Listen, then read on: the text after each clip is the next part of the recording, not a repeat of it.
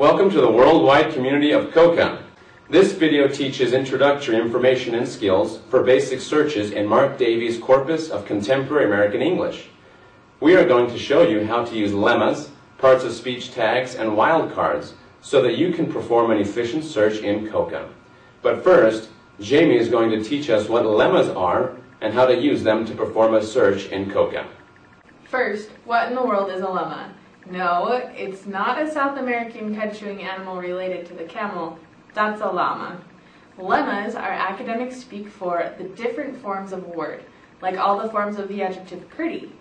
Prettier, prettiest, pretty. Lemmas can also be the conjugations of a verb, like eat, ate, eating, eaten, eats. To be more accurate with our results on a word's usage, we search for all forms of a lemma. So the question is, how do I use COCA to search for them? The search options are here on the left of the screen. So that COCA understands exactly what you're looking for, the words text box requires some special symbols. To search for all the forms of a word, you just need to surround the most basic form of a word with square brackets, like with pretty. So, what results should we expect? Let's type in our search, click search, and on the right side, our results will appear. The results will list, from most frequent to least, all the forms of our word that COCA can find. Occasionally, you will get a result or two that don't seem to belong, like with our result for pretty. We're looking for an adjective, but in the results we also get pretties and prettied.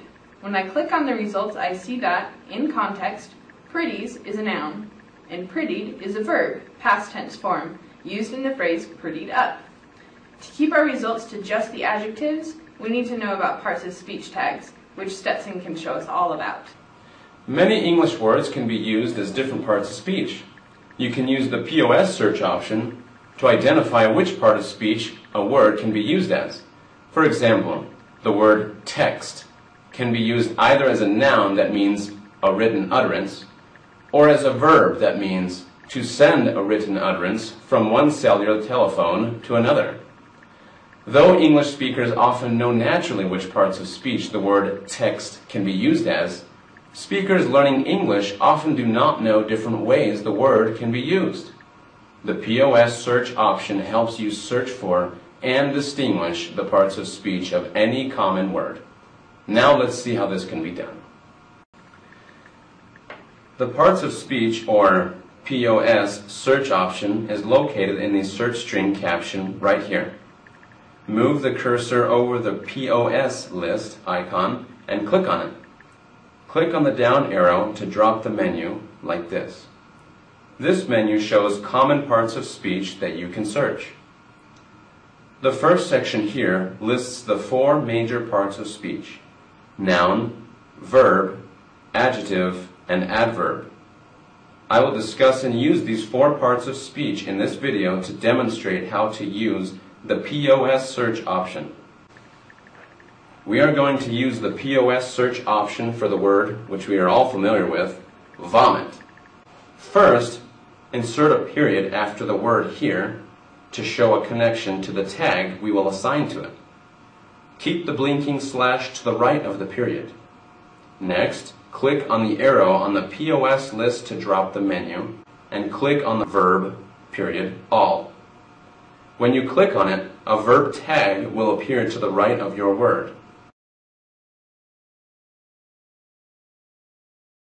Close all spaces between the word, the period, and the tag. Click on the Search button here. Your results will appear in the Results caption to the right. Now let's talk about how to interpret these results. Notice that the verb vomit in blue and the number listed to the right here. This number represents how many results or hits were found with the verb form of this word. So now you know that vomit is commonly used as a verb. To view the details of each of these results, click on the blue word like this. Look at each individual sentence here to understand the usage of vomit in different genres. Now return to the search string caption to the left so that we can do the same search of vomit, but for the noun form. First, delete the verb tag in the text box here. Again, place the blinking slash to the right of the period. Then, drop the POS list menu and click on Noun period all. The noun tag should appear to the right of the period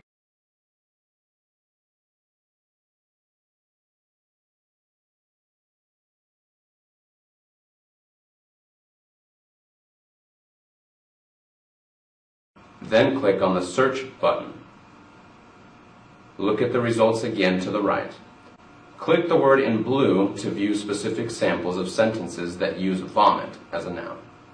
Some additional examples of useful searches are break as a noun compared to break as a verb, as well as pretty as an adjective compared to pretty as an adverb. Search these words or any other words on your own now. Next, Emily will describe what wildcards are and how you can use them to refine your COCA search. Find the search string window and reset any previous searches. Make sure List is selected in the display options. In the Words text box, type the letters P, R, O, V, E and in this symbol of a question mark. The question mark representing all the possible letters that could happen in English after prove. Remember, we are hoping to see whether proven or proved is used more in our results. Push the search button. Our results are on the right, so we can see that both proved and proven are used but it looks like proved is used about twice as often as proven. We can click on proved to see the concordances or context of the word to see if one is used more often in different types of contexts.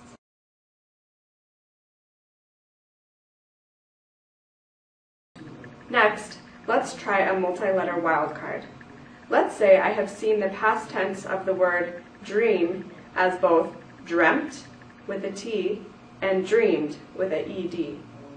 I think one of these versions is American and the other is British, but I'm not sure which one is which. Reset the search string area once again. This time, let's type in the letters D-R-E-A-M, and then the symbol of an asterisk. The asterisk representing any number of letters that could happen after the letters D-R-E-A-M. Click Search. Once again, our results are on the right. We see that both dreamed and dreamt are being used. However, note that dreamed is used much more frequently. If we click on dreamt, we see some uses in context.